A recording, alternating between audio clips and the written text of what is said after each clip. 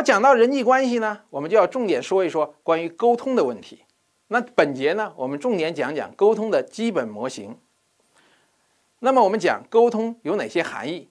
沟通的基本模型是什么？那么什么是沟通呢？简而言之，沟通就是信息交流，是由信息发出者到信息接收者接收理解这样一个过程，这就是沟通。我们画张图，就是信息的沟通的基本模型，大家就很清楚的看到这个模型了。大家看到，沟通往往是由有信息的发出者和信息的接收者这两个主体。当然了，特殊情况下，信息的发出者和信息的接收者是一个人。那这时候呢，这就叫做自我沟通。大家想想是不是？我和自己和自己说话，当然通常是与心灵的对话了。那一般意义而言呢，发出者和接受者是两个人，或者是两类主体。那么信息的发出者要把自己要发出的这个信息，通过编码这种形式，经过传播渠道传递给信息的接收者。信息的接收者接到这些信息，要进行解码。这就是发出者到接收者这样一个过程。记着，这样一个过程可不是沟通，只是沟通的一部分。为什么这么说？因为信息的接收者能不能解码，可能还是问题。因为在整个过程中会有各种各样的干扰因素，干扰编码的过程，也会干扰传播的过程，还会干扰解码的过程。而信息的接收者呢，接收到这个信息以后，会有一定的反应。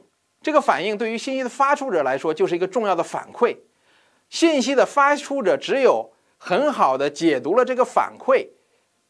围绕这个反馈，看信息的接收者是不是真的接收到了、理解到这个信息，再做下一步的决定，这才完成了一个完整的沟通过程。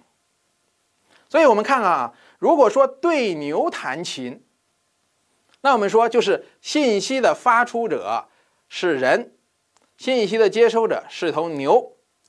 那么这位信息的发出者呢，想跟牛进行沟通，他用了什么形式进行的编码啊？OK，他用的是琴声进行的编码，经过传播传到牛那儿。请问琴声牛能够解码吗？很遗憾，牛无法解码琴声，所以牛的反应是继续吃草，没有搭理这个弹琴的人。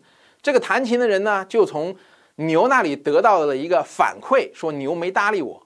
说明我跟牛的沟通是失败的。好，大家想一想啊，对牛弹琴是牛的问题啊，还是人的问题啊？我觉得可能主观上主要是人的问题，因为你想和牛沟通，应该用牛可以解读、可以解码的语言来进行沟通。但好在什么呀？这位信息的发出者密切地关注了牛的反应，从牛那里取得了反馈，发现我和牛的沟通是失败的，所以这也很好。所以如如果他发现失败了，他想和牛继续沟通呢，就应该用牛可以解码的语言来和牛进行沟通，这样就达到了沟通的目的。所以这就是沟通的基本模型。所以我们讲人与人之间、人际之间的不理解、矛盾冲突。是不是很多时候是沟通不畅造成的呀？对呀，公说公有理，婆说婆有理，两个人不在一个频道上，发生了沟通的障碍，或者说对一个问题的理解，大家理解的不一致，产生了冲突。